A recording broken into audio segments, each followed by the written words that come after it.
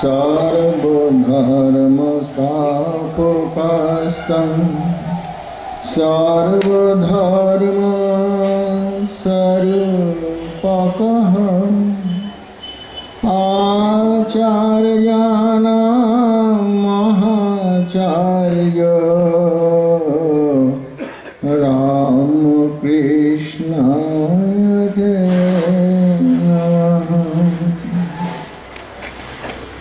যথাগ্নে দাহিকা শক্তি রাম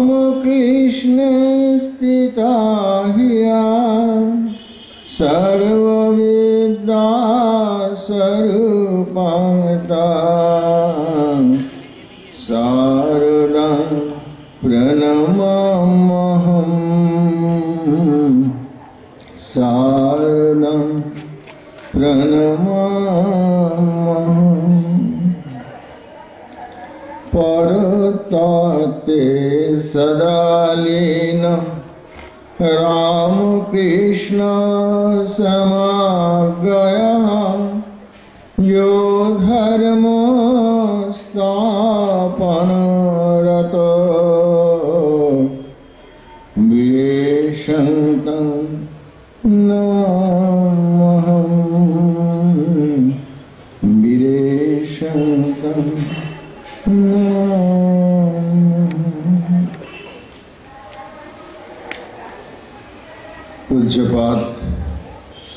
গোস্বামী শান্তিদানন্দজি মহারাজ শ্রী মৎস্বামী নিত্যমুক্তানন্দজি মহারাজ শ্রী মৎস্বামী পূর্ণাত্মানন্দজি মহারাজ শ্রী মৎস্বামী অপরাত্মানন্দজি মহারাজ,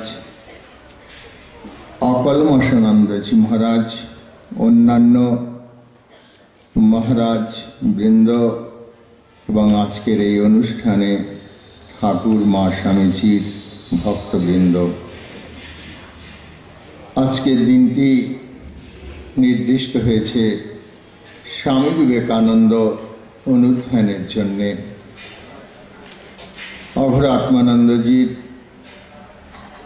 ধরিয়ে দেওয়া এবং সেটিকেই সামনে রেখে নিত্যমুক্তানন্দজি তার বক্তব্য আরও আমাদের কাছে পরিষ্কার করে দিলেন যে শ্রীরামকৃষ্ণ এবং স্বামী বিবেকানন্দ দুটি নাম, দুটি ব্যক্তি, দুটি ব্যক্তিত্বের মধ্যে দিয়ে একটি ভাব, একটি আদর্শই জগতে প্রকাশিত হয়েছে। এ যেন একটি মুদ্রার এপিট আর এবং এই কথাটি নাগমশাই বলেছিলেন। একই মুদ্রার এপিট আর ওপিট বেলুর মঠে স্বামীজি সন্ন্যাসী ব্রহ্মচারীদের পড়াচ্ছিলেন। এইরকম একটি দিনে নীলাম্বর বাবুর বাগানে তখন মঠ নাগমশাই এসে উপস্থিত হয়েছিলেন এবং নাগমশাইকে দেখেই স্বামীজি অত্যন্ত আনন্দিত, আহ্লাদিত ব্রহ্মচারী সাধুদেরকে বলছেন, আজ নাগমশাই এসেছেন। ঠাকুরের মহাগৃহী ভক্ত, আজ আমাদের পাঠটাট হবে না। নাগমশাইয়ের কাছে আমরা ঠাকুরের কথা শুনব এবং নাগমশাইকে বলছেন, তাদের ঠাকুরের কিছু কথা বলবার জন্যে। নাগমশাই স্বামীজির কাছে অত্যন্ত বিনয় প্রকাশ করছেন আর বারবার বলছেন, আমি কি বলব, আমি কি বলব? তখন স্বামীজি নিজে থেকেই তার মনের কিছু সংশয় তুলে ধরেছিলেন। সেই সময়ে যে নাগমশাই সারা দুনিয়া ঘুরে বেড়াচ্ছি, মাঝে মাঝে মনে হচ্ছে যে এগুলো নিজের খেয়ালে, নিজের মতলবে কিছু করছি না তো? স্বামী বিবেকানন্দের মতো মানুষ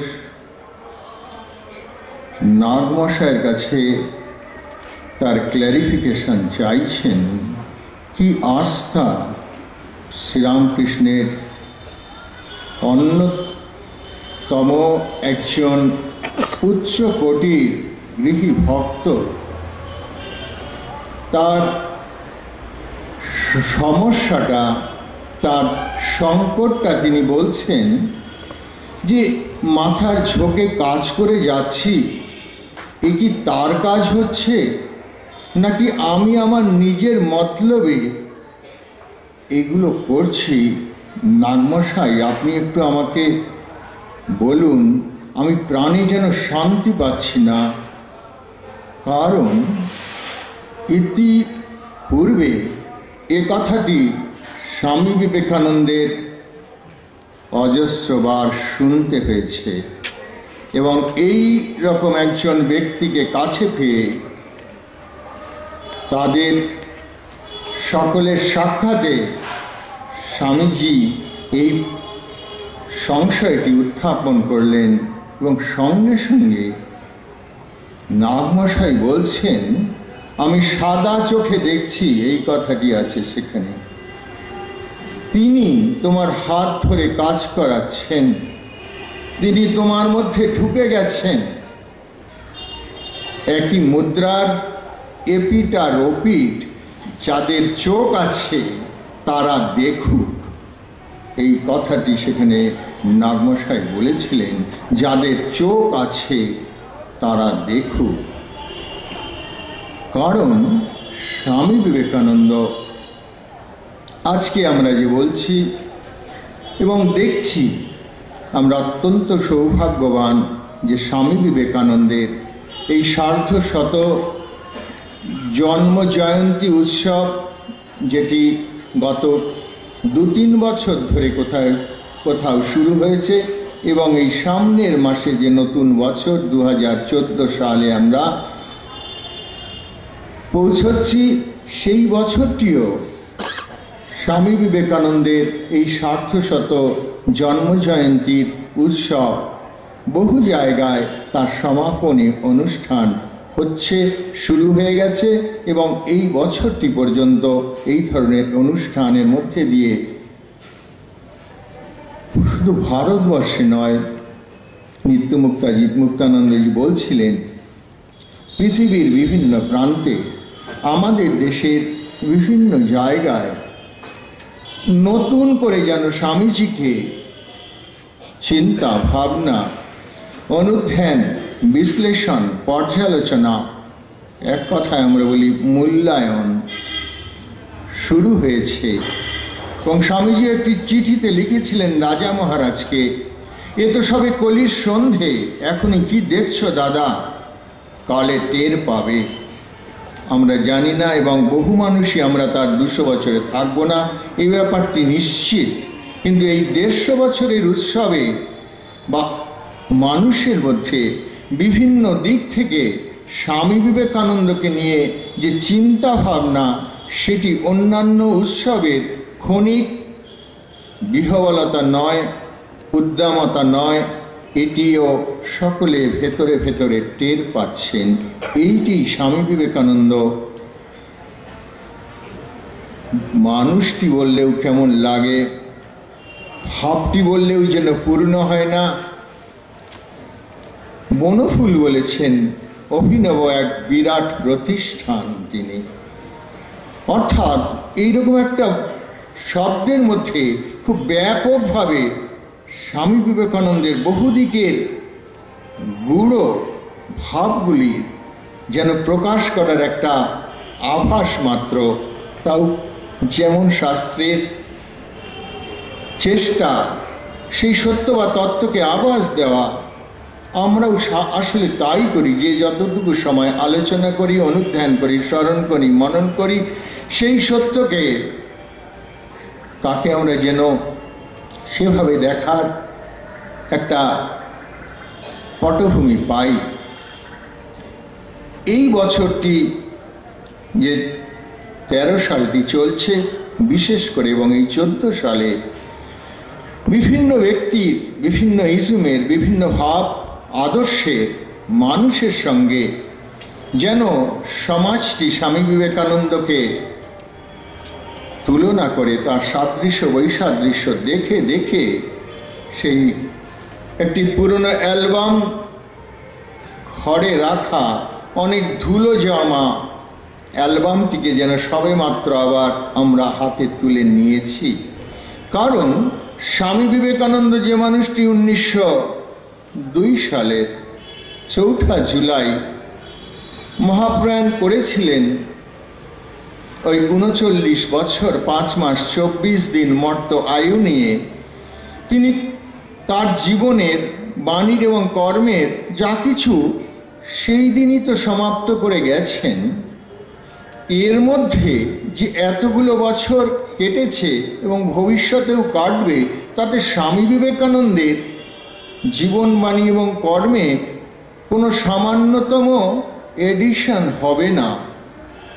তাহলে হঠাৎ এতদিনে আমাদের এটা এইরকম একটা ভাবনা আসছে, মানুষ চিন্তা করছে যে প্রায় ষাট একষট্টি বছর পরে যেন আমরা একটু জেগে উঠছি, একটু সচেতন হচ্ছি, অনেক কিছু যেন এর মধ্যে খুঁজে দেখে এক্সপেরিমেন্ট করে, তার প্রতি আমাদের অনীহা, অনাস্থা প্রকাশ করেছি।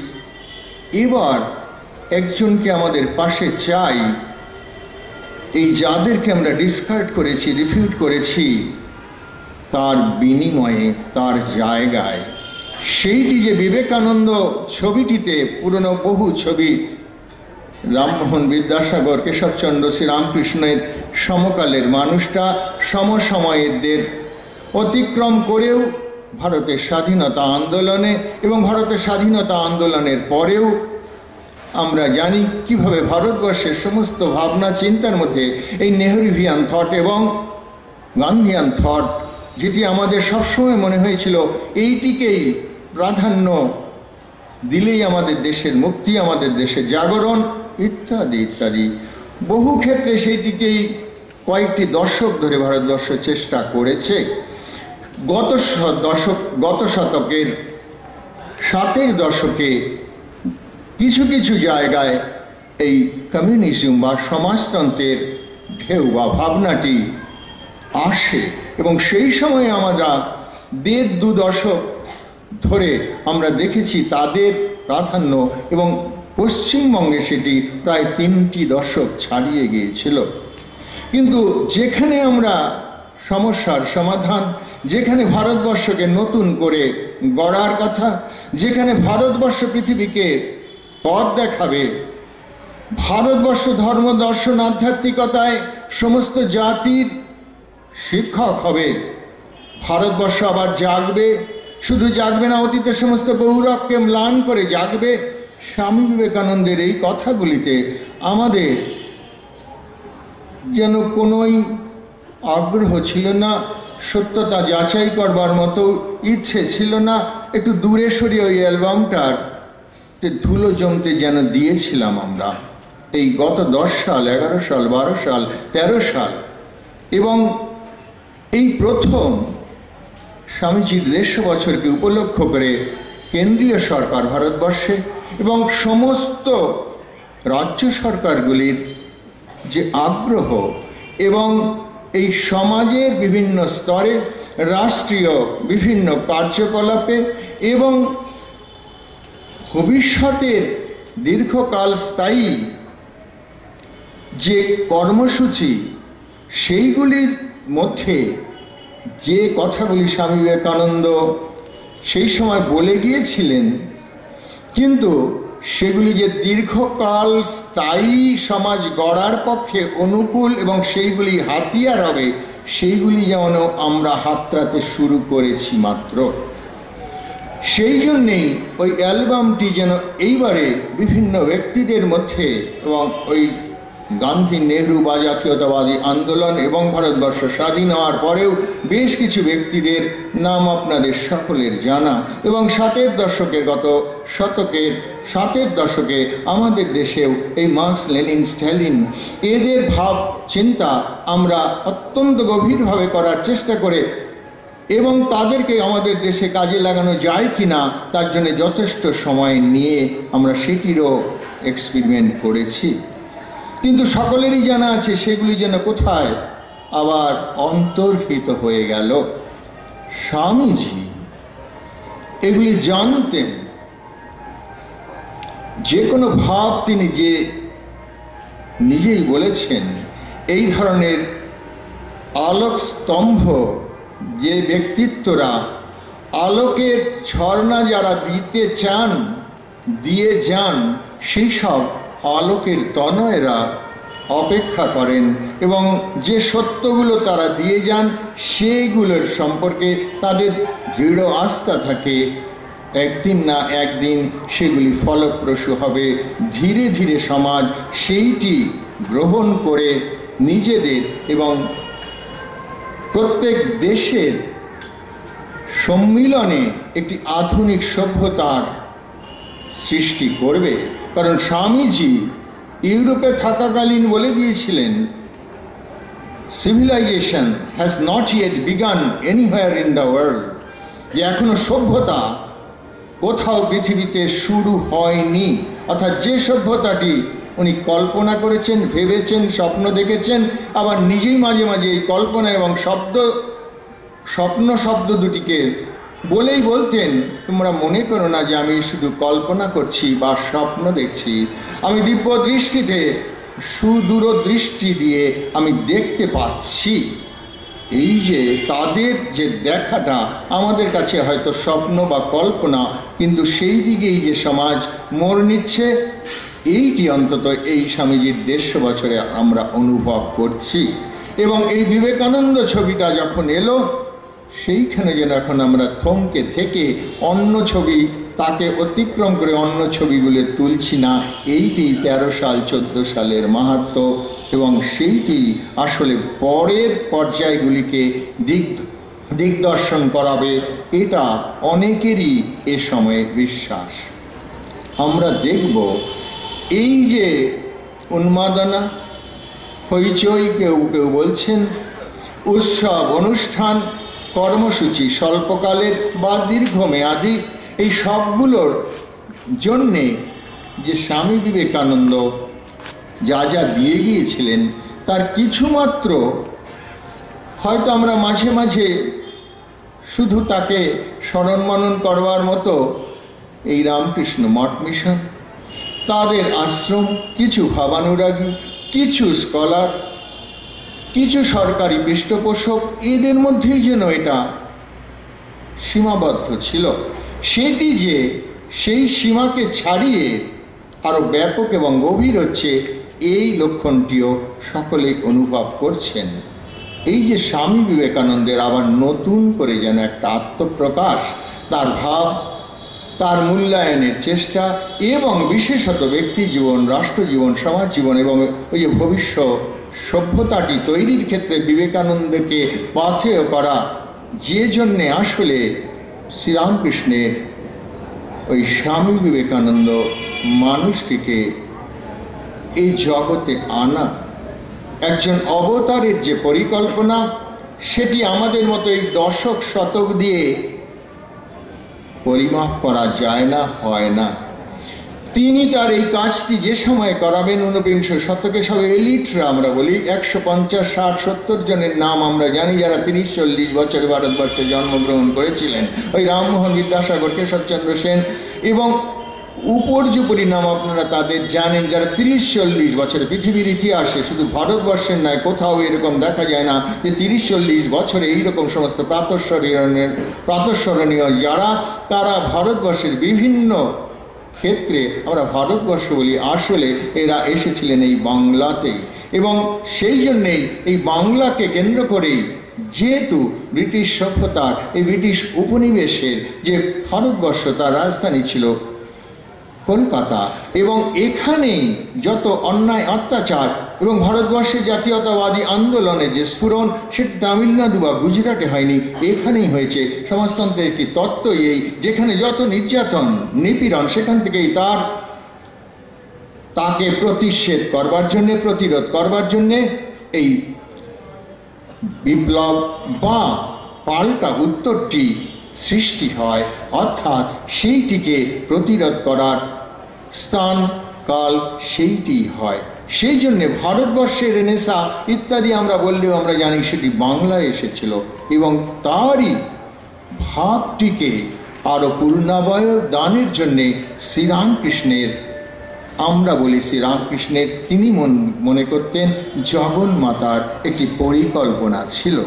যার জন্যে এত তৈরি মানুষ সে সময় থাকা সত্ত্বেও শ্রীরামকৃষ্ণ যে কাজটি, ওই জগন্মাতার কাজ, যে কাজটি করবেন, সেটির জন্যে এদের মধ্যে থেকে তিনি কাউকে নিয়ে করেননি। তিনি তাদের, ওই জগন্মাতা তাদের স্বরূপটি, সত্তাটি দেখিয়েছেন, দর্শন করিয়েছেন এবং ওই বালক শিশু রূপে তিনি ওই সপ্তর্ষিতে সমাধিতে তার দর্শন হয়ে গিয়েছিল। তিনি সেখানে গিয়েছিলেন, যেখানে অন্য অন্য ঋষিদেরকে ত্যাগে, বিবেক, বৈরাগ্যে একজন অনেক দূরে রেখে অবস্থান করছিলেন। তার গলা জড়িয়ে ধরে বলেছিলেন, আমি যাচ্ছি, তোমাকেও যেতে হবে। স্মিত হেসে তিনি হাঁ করেছিলেন। অর্থাৎ, এবং তারপরে যে নরেন্দ্রনাথকে দর্শনের আগেই একটা কাশি থেকে আলো এসে কলকাতা শহরের সিমলে অঞ্চলে পড়তে দক্ষিণেশ্বরে ওই বামুন ঠাকুর নৃত্য করে উঠে হাততালি দিয়ে উঠে বলেছিলেন, হয়তো তখনকার জীবনীতে আমরা যখন ছেলেবেলায় এগুলি পড়েছিলাম, আমাদের কাছে খুব একটা বার্তা আনেনি, কোনো অর্থবহ বলে মনে হয়নি। এখন যত আমরা একটু বুড়ো হচ্ছি, তত আমাদের কাছে এগুলি একটু অর্থ আনছে। কারণ তিনি হঠাৎ ওরকম একটা আলো দর্শন করে ওই বামুন ঠাকুর নেচে উঠে বলেছিলেন, ওই এলো ওই এলো রে। জীবনীতে আছে এই কথাটি। কি তিনি বুঝলেন কি না? এবং সত্যি দেখা গেল, ওই সাপ বাঁচল সে বাড়িতে। বিলের জন্ম, নরেন দত্তের জন্মে, জন্ম এবং তিনি ওই গান যেটি এই বলা হয় যে এই মর্তভূমি এবং সেই যে অমৃত লোক, তার মাঝে ওই কিন্নর লোক, তার একটা সেতু স্বরূপ। প্রথমেই তারা এই জাগতিক, সাংসারিক জীবনে আমরা যে জগৎটা দেখি, তাতে আসলে তারা দেহমনটি নিয়ে এসেছেন, কিন্তু তাদের ব্যবহারে খুব কষ্ট হয়। আমরা যে জীবনযাপনটি করি জগতে, সেই জন্য ওই সেলেশিয়াল লেভেল রেলেম বলা হয়, যে সেই গানের মধ্যে দিয়ে তাদের পরিচয়। এবং সত্যি তাই। সেখানে তিনি প্রথমেই দর্শন করলেন, গান শুনলেন তার। তখনও ওই তাকে আমন্ত্রণ করে এলেন। যে দক্ষিণেশ্বরে এসো। ইয়ে দক্ষিণেশ্বরে তখনও আসেননি, কিন্তু নরেনকে এবং তার গান শুনেছেন, আবার আমন্ত্রণ। কোথায় এগুলোর মধ্যে? শ্রীরামকৃষ্ণ একটা আমাদের মনে হতো একটা ব্যাপক যাকে আজকের ভাষায় আমরা বলি ব্যক্তিত্ব, এই ছোকরাটিকে যেন খুব বিনয় দেখাচ্ছে, সব ক্ষেত্রে তার কাছে অনুগত ভাব দেখাচ্ছে, এগুলিও আগে অতটা বুঝতাম না। অর্থাৎ সেখানেও একবার দক্ষিণেশ্বরে এসো এবং সেইখানেও ওই গান শুনেছিলেন। তাকে স্পর্শ করেছিলেন ইত্যাদি ইত্যাদি। আপনাদের, আমাদের কিছুটা জানা আছে। অর্থাৎ তিনি নিজে হাতে তাকে গড়ছেন যেটি বলার জন্যই এই উপক্রমণিকা, যে তিনি তার কাজের লোক, তাদের দর্শন করেছেন, জগন্মাতা দেখিয়ে দিয়েছেন। তখন যে ভারতবর্ষে রেনেসা এসে গেছে, তৈরি মানুষদের থেকে তিনি করেননি সেটি। কারণ সেটি একদিন কেশব সেনকে বলেছিলেন, তুমি প্রকৃতি দেখে তোমার দলের লোক নেও না বলে তোমার দল ভেঙে ভেঙে যায়। মানুষের আপাত দেখতে একই রকম, কিন্তু প্রকৃতি ভেদে ভিন্ন ভিন্ন। যেমন একটা বালিশে ভেতরে, সব বালিশের ভেতরেই তুলো আছে, কিন্তু সাইজ ডিজাইন এটা ওটা ভিন্ন ভিন্ন। এই পুলির ভেতরে ওপরে দেখলে মনে হয় সব পুলি একরকম, কিন্তু কোনোটার ভিতরে ক্ষীরের পুলি, কোনোটা নারকেলের পুলি, কোনোটা গুড়ের পুলি, কোনটা খেজুর রসের পুলি ইত্যাদি। অর্থাৎ এইটি শ্রীরামকৃষ্ণের এই যে ভাব আন্দোলনটি, জগন্মাতার যে কাজটি, যেটির জন্যে তিনি এই স্বামী বিবেকানন্দকে এনেছেন মা সারদা দেবী। এসেছেন অন্যান্য ত্যাগী সন্তানরা এসেছে, গৃহভক্তদের তৈরি করেছেন, নারী ভক্তদের তৈরি করেছেন। সেটি নিজে এরকম বেছে নিয়েছেন, তাদের নিজে হাতে তৈরি করেছেন, নিজে তাদের সেই দায়িত্বটি দিয়ে গেছেন, অন্যদের কাছে এর স্বরূপ সত্তাকে প্রকাশ করেছেন, অন্যদেরকে আবার এর সম্পর্কে যেমন বলেছেন, আবার এর সম্পর্কে অন্যদের অর্থাৎ এই পারস্পরিক যে একটা আস্থা বোধ রিলায়েন্স ট্রাস্ট এইটি যে অর্গানাইজেশনের যে কোনো ম্যানেজমেন্টের কর্পোরেট সেক্টরের যে কোনো বই, যে কোনো কিছুতে এই কথাগুলি বারবার ঘুরে ঘুরে আসছে আজকের ভাষায়, আজকের দৃষ্টান্তে। ওইগুলি শ্রীরামকৃষ্ণ এইরকম যেন উদাসীন, কিন্তু কোথায় জগন্মাতা তাকে এই জিনিসগুলো দিয়ে পড়িয়েছিলেন আমরা এবারে এইটুকুই দেখব যে শ্রীরামকৃষ্ণ তাকে যে তৈরি করে রেখে গেলেন আমরা বলি, সেটির পেছনেও তার জীবনে পদ কণ্টকাকীর্ণ কম ছিল না। পরে তো প্রতিটি পদে পদে, যেহেতু সেই দায়টি তিনি দিয়ে গেছেন নরেনকেই, এবং সেটি তাকে করতেই হবে আর দিন দিন তার মনে হয়েছে, সেই দায়টি তার কাছে বা উদ্দেশ্যটি, মিশনটি স্পষ্ট থেকে স্পষ্টতর হচ্ছিল। এটি প্রথম দিকে যতটা তিনি আগ্রহী ছিলেন না, বরং তিনি বলেছেন, আমি কাজ করতে পারব না ঠাকুর বলছে, তোর ঘর করবে, ইত্যাদি ইত্যাদি। চাপরাস লিখে দিয়েছেন, লিখতে লিখতে পারেন, পারতেন না বিশেষ। কিন্তু হাতের লেখা খুব ভালো ছিল, কিন্তু সেই সময় অসুস্থতার বদ- বশত যেটি চাপরাস লিখেছিলেন ও খুব জড়িয়ে টড়িয়ে লিখেছিলেন জয়রাধে প্রেমমোহী যখন ঘুরে বাইরে হাঁক দিবে। জয়রাধে প্রেমমোহী অর্থাৎ এই নরেন ঘরে বাইরে বা ঘুরে বাহিরে হাঁক দিবে, নরেন শিক্ষে দিবে। এটি এই ধরনের অবতার পুরুষ, তার লেখারও দরকার ছিল না। তাদের বলা থেকেই ঋষিমুনিদের বলা থেকেই শ্রুতি, আর তিনি স্বয়ং ভগবান। কিন্তু যেহেতু মানুষ হয়ে এসেছেন, সেই জন্যে এই অবতারদের কথা বা বাণী সেটা শ্রুতি নয়, বেদ নয়, স্মৃতি। সে অন্য প্রসঙ্গ। শ্রীরামকৃষ্ণ লিখে দিলেন, ওই ঘুরে বাহিরে প্রিমমহিষ জড়িয়ে টড়িয়ে, এখনও আমরা অনেক গবেষকরা ওইটা ঘুরে হবে না, ঘরে হবে, বানানগুলি সব যখন বগিজ দিয়ে ইত্যাদি ইত্যাদি, তাতে কিছু এসে যায় না, ওই সত্য সংকল্প ঈশ্বর। এই ভাষা টাষা অনেক দূরে আসলে সেটি সত্যি, এই অপভাস বলে শাস্ত্রে। ওগুলি যেন বলতে গিয়ে একটা ব্যবহারযোগ্য একটা বিষয়, ওটাই যে আসল নয়, ভাবটি বা সত্যটি আসল, এবং তাই করেছেন। ছেলেবেলা থেকে যে মানুষটিকে তিনি কাজের জন্য নিয়ে এসেছিলেন, এই সত্যকে ধরা। জগৎকে সেইটি জানানো সোজা কথা একটি যদি আমরা বলি, তাকে ভগবান নাম দিই আত্মা নাম দিই ব্রহ্ম দিই পরমাত্মা দিই তিনি সত্য। এইটি শ্রীরামকৃষ্ণ তাকে শিখিয়েছেন। এমন শিখিয়েছেন, সেইটি বাড়ির যখন দুরবস্থা তার মায়ের কাছে তিনি সমস্ত সদ্গুণের জন্য ঋণী যিনি স্বীকার করছেন, স্বামী বিবেকানন্দ, তার মাও সেই যখন অভাব, অনটনের চরম অবস্থা, তার পিতার মৃত্যুর পর যে ছেলেটি নিত্য ভগবানকে স্মরণ করে ঘুম থেকে উঠত, তার সেই প্রার্থনাকে অত্যন্ত তীক্ষ্ণ স্বরে ব্যঙ্গ করে উঠেছিলেন মা, দূর ছড়া, ভগবান ভগবান। রাত দিন আর সারা পথ জীবন তো শুধু ভগবান ভগবান করলি। তোর ভগবান কি করলেন? নরেন্দ্রনাথ বলেছিলেন, যে মায়ের কাছে আমি নীতিবোধ, ধর্ম, সত্য পালন শিখেছিলাম, মায়ের কাছ থেকে যেদিন এই আঘাতটি, কষ্টটি পেলাম, অর্থাৎ নরেন্দ্রনাথের মধ্যে সকলেই অনুভব করেছেন তার এই অজ্ঞেয়তাবাদী দৃ- দৃষ্টি।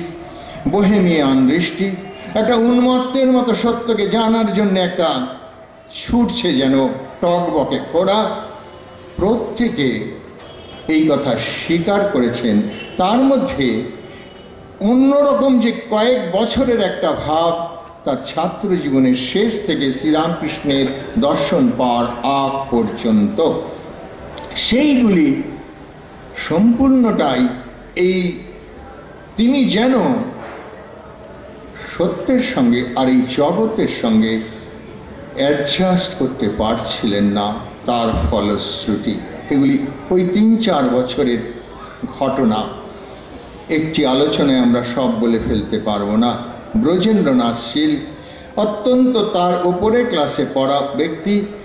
কয়েক পাতা তার ওই সময়ের কথা উল্লেখ করেছেন। আপনারা নিশ্চয়ই পড়েন, পড়ে দেখবেন। ঠিক এই হচ্ছে তার মধ্যে এই যে শক্তিটি কোন দিকে প্রবাহিত হবে, এবং সেটি শ্রীরামকৃষ্ণ নির্দিষ্ট করে দিয়েছিলেন, কিন্তু তখনও জগৎ জানত না।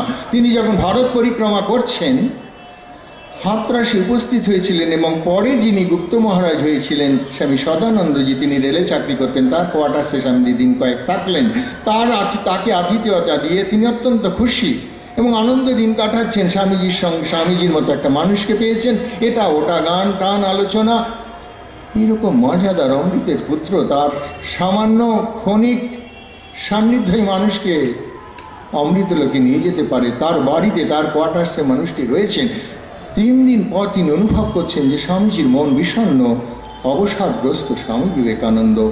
জিজ্ঞাসা করছেন যে, স্বামীজি, আপনার কি হয়েছে যে আপনার মন এক এরকম বিষাদগ্রস্ত?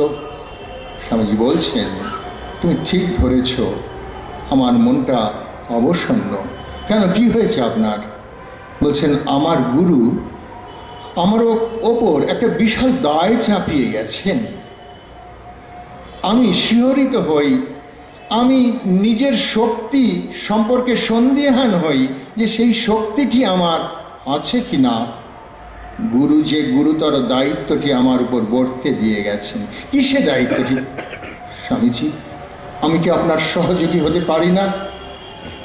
স্বামীজি তখন বলছেন, ভারতবর্ষের মুক্তি, ভারতবর্ষের জাগরণ নাকি আমাকে করতে হবে? এইটি আমার গুরু দায় দিয়ে গেছেন। এইরকম স্পষ্ট করে স্বামীজি তার জীবনের যে মিশন এবং গুরু যে সে দায়টি দিয়ে গেছেন, এইটি এইভাবে স্বামীজি প্রথম প্রকাশ করলেন ওই দিনে। স্বামী সদানন্দজি পরবর্তীকালে তখনকার শরৎচন্দ্র গুপ্তের কাছে। এবং তিনি ভারত পরিক্রমা করে আমরা জানি, আমেরিকায় সেই সময়ে সেই মহাধর্ম সম্মেলন ইত্যাদি ইত্যাদি। এখন আমরা পর্যালোচনা করে, ইতিহাস পড়ে, বিশ্লেষণ করে, অনেক রকম আমরা বলি, এগুলি যেন কোথা থেকে বিধাতা নির্দিষ্ট। জগন্মাতা নির্দিষ্ট, শ্রীরামকৃষ্ণ নির্দিষ্ট তাহলেও নির্দিষ্ট হওয়া সত্ত্বেও তার পদে পদে যে কণ্টকাকীর্ণ পদ তাকে পেরোতে হয়েছে, মোটেই কুসুমাস্তীর্ণ নয়।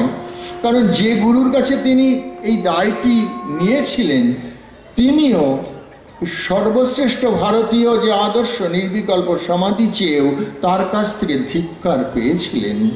অর্থাৎ এই মানুষটি যেখানেই হাত দিতে চায় যেন সেখানেই এবং সত্য এবং চূড়ান্তটিকেই চাইছে এটি স্বামী বিবেকানন্দ জীবনের সবচেয়ে ট্র্যাজেডি সবচেয়ে মহত্তম জিনিসটিকেই তিনি ধরছেন, অর্থাৎ ভোরে উঠে ভগবান ভগবানই করছেন, মা ধিক্ষার দিচ্ছেন, নির্বিকল্প সমাধি চাইছেন, গুরু ধিক্ষার দিচ্ছেন।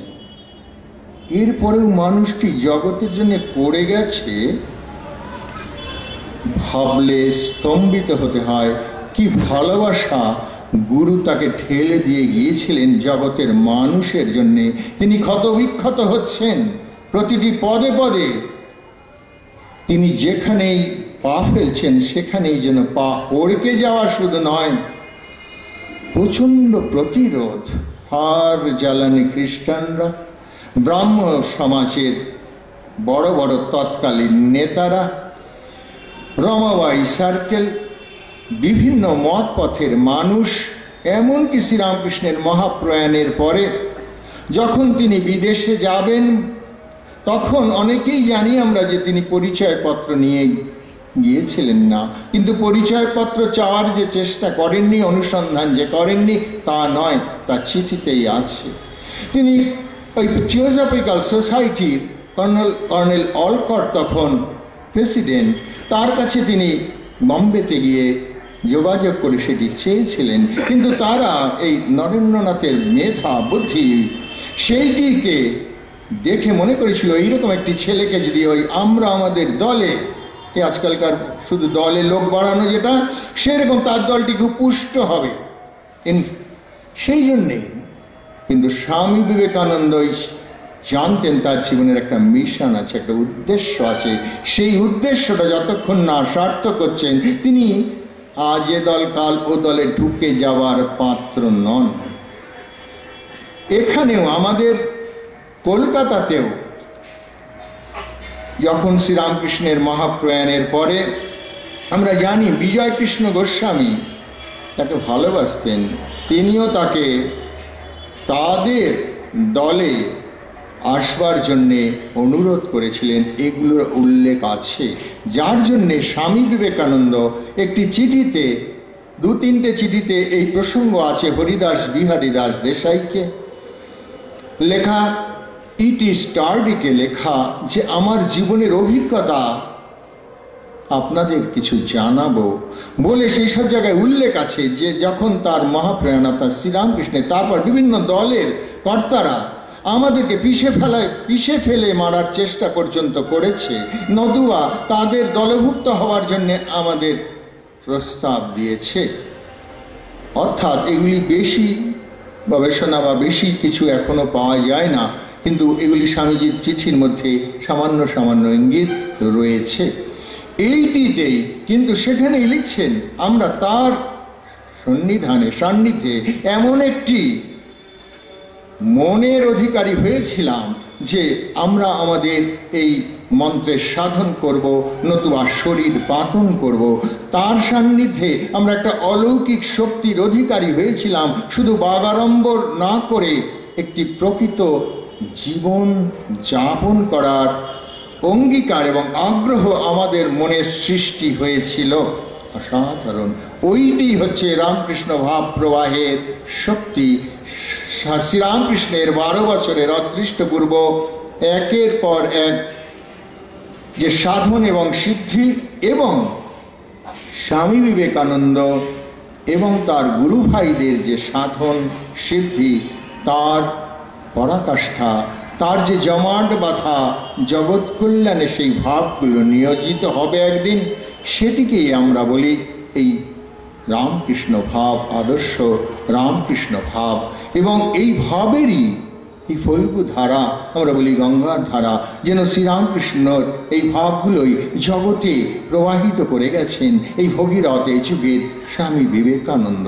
অর্থাৎ কত দিক থেকে যে স্বামী বিবেকানন্দ শ্রীরামকৃষ্ণের বার্তাবহ বার্তাবহ, সেটি প্রচুর প্রচুর তাদের জীবনের সমস্ত কর্মের মধ্যেই সেটি দেখা যায়। সেই জন্য একটি আলোচনায় সব বিস্তৃত বলা সম্ভব না। কিন্তু মূল কথাগুলো এই তিনি যে বার্তাটি তার বয়েছিলেন তার জন্যে এইরকম যে তার পথ কণ্টকাকীর্ণ ছিল, যেটি কখনোই কোনো অবস্থাতেই স্বামী বিবেকানন্দ ত্যাগ তো দূরের কথা, বরং শেষে সেই সেই সময়ে তার মধ্যে মূল যে শক্তিটি আরও বহু গুণ বর্ধিত হতো। তিনি অনেক সময় সে কথা স্বীকার করেছেন। যেমন একটি সাপের লেজে পা দিলে সাপটি তার সমস্ত শক্তি প্রকাশের জন্যে তৎপর হয়ে ওঠে। স্বামী বিবেকানন্দ যখন যেরকমভাবে বেশি আঘাত কষ্ট এই রকম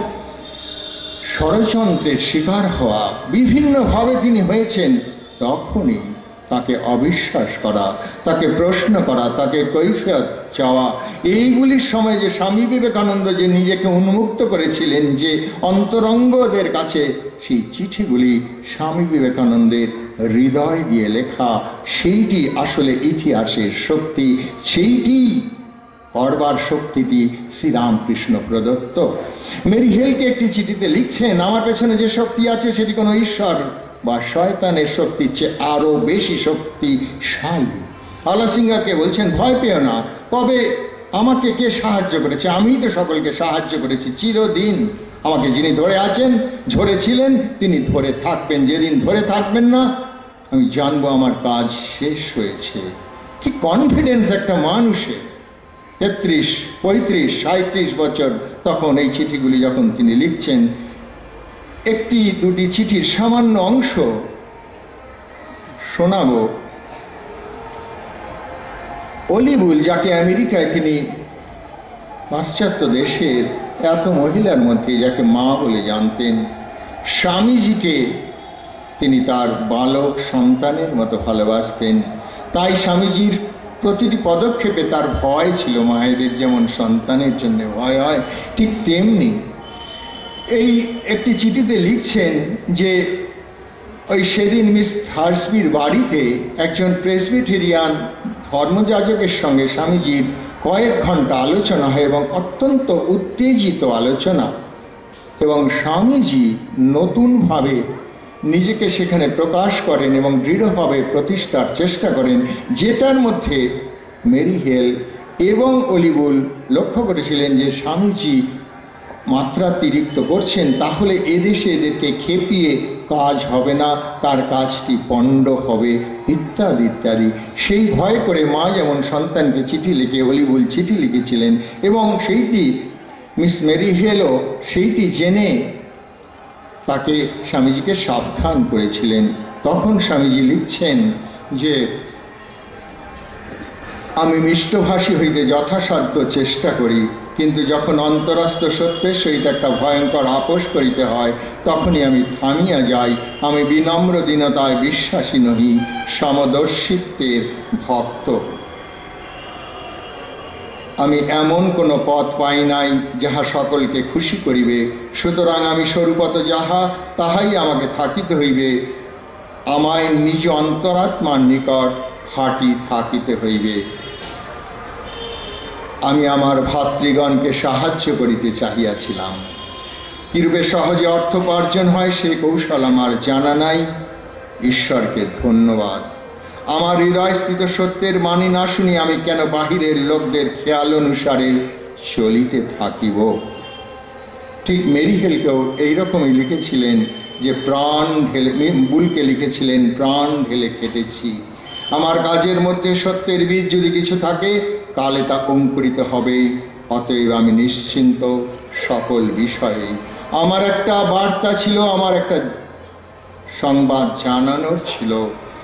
শত অপূর্ণতা সত্ত্বেও আমি জানি সেই ভারতভূমি একমাত্র স্থান যেখানে আত্মা তার মুক্তির সন্ধান পায়, ভগবানের সন্ধান পায়। পাশ্চাত্যের এসব আড়ম্বর সর্বতা অন্তঃসার শূন্য আত্মার বন্ধন শিকাগো শহরে বসে লিখছেন। এখনও শিকাগোর ঐশ্বর্য আমাদের চোখ ধাঁধিয়ে দেয় তিনি বলছেন যে, আমার বয়স হচ্ছে, জীবন কিছুই নয়। ভগ্নিপথ দীর্ঘ সময় অল্প মেরিহেলকে চিঠির অংশে। সন্ধ্যাও ঘনাইয়া আসিতেছে, আমায় শীঘ্রই ঘরে ফিরিতে হইবে। আদব কায়দার শিক্ষা সম্পূর্ণ করিবার সময় আমার নাই। আমি যে বার্তা বহন করিয়া আনিয়াছি, তাহাই বলিয়া যাইব। এক কথায় জগৎকে আমার নতুন কিছু দিবার আছে। ওই নতুন যে দেওয়ার আছে, সেটি শ্রীরামকৃষ্ণ প্রদত্ত। তার ভাব শ্রীরামকৃষ্ণ। আবির্ভাব থেকেই সত্য যুগের সূচনা হয়েছে। স্বামী বিবেকানন্দ দুটি চিঠিতে উল্লেখ করেছেন, এখন এক বেদ, এক ধর্ম। এই সত্য যুগে আচণ্ডাল প্রেম পাবে, ইত্যাদি ইত্যাদি। এবং সেইটি স্বামী বিবেকানন্দ অপর একটি চিঠিতে লিখছেন, এই পুরনোর হাত থেকে কবে আমরা মুক্তি পাব? অর্থাৎ শ্রীরামকৃষ্ণ আবির্ভাব থেকেই তিনি দেখেছেন, এখন নতুন বেদ, এখন নতুন শাস্ত্র, এখন নতুন ভারত। একের পর এক তিনি এই নতুনত্বের বীজ বপন করে দিয়ে গেছেন, যার জন্যে এই ভবিষ্যকালের মানুষ, যুক্তিনিষ্ঠ মানুষ, বিজ্ঞান মনস্ক, উদার মনস্ক মানুষের আবার ওই ধুলো ছেড়ে বিবেকানন্দ ছবিটিতে আমরা আটকে থেকে তাকে এবারে আমাদের জীবন গঠন, চরিত্র গঠন, পরিবার গঠন, সমাজ গঠন, রাষ্ট্র গঠন এবং আন্তর্জাতিক সভ্যতা গঠনে কাজে না লাগানো পর্যন্ত তিনি বলছেন, তিনি কাজ থেকে বিরত হবেন না। যতক্ষণ না জগৎ জানতে পারে যে সে এবং ঈশ্বর এক এবং অভিন্ন। ধন্যবাদ, নমস্কার।